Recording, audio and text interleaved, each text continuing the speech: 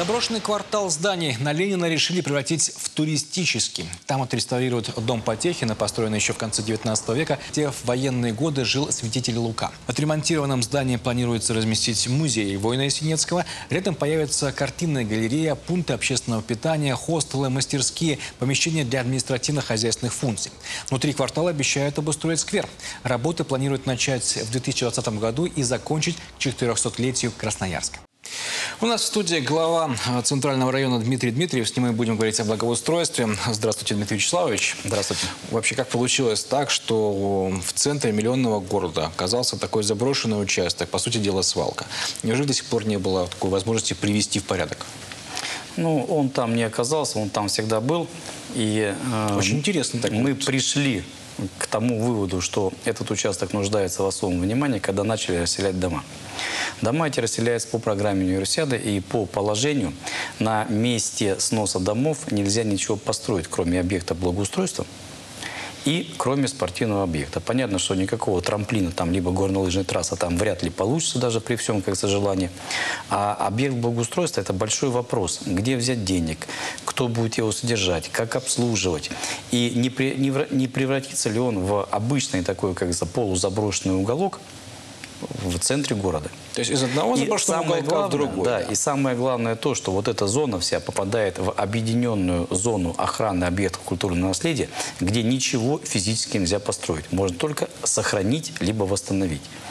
Значит, там есть собственник одного из зданий, э, именно дома, где, дом Потехина, где э, жил Лука.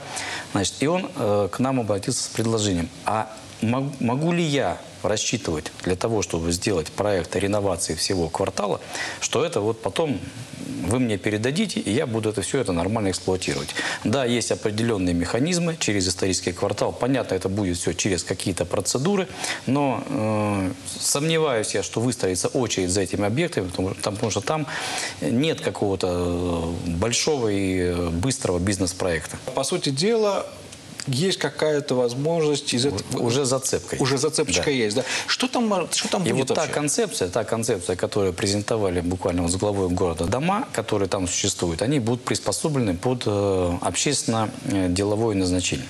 То есть в отличие, например, от других закрытых объектов, это будут общественно доступные места. Там, значит, где-то планируется э, картинная галерея, там планируются небольшое, небольшие э, две или три гостиницы для того, чтобы там можно было, кажется, приехать. Э, планируется зона для культурного досуга. Там шикарная есть э, стена, которую можно использовать для э, какого-то там и маппинга, как говорится, и показа каких-то фильмов, то есть что-то сопровождать, каких-то событий. Вот, смотрите, но ну, мы прекрасно понимаем, что это дело не одного года. Ни одного абсолютно. Я сразу то есть, скажу, то есть что, не, не так, что раньше, это... чем года через два с половиной, три, мы ничего реально там не увидим. Мы только, дай бог, к этому году их расселим. Но, по крайней мере, а, есть намерение, есть инвестор, есть желание, ну, как-то, знаете, такой, вроде какой-то оптимизм. Если мы не будем думать на 2-3 года вперед, грош нам цена. Еще один вопрос а, об облике Центрального района. Это ларьки.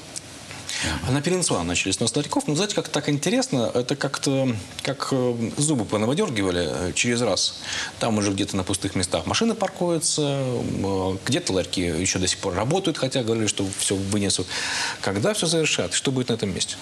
Ну, значит, машины нигде там не паркуются на пустых местах, там невозможно заехать. Вот как зубы повыдергивали, это нормально.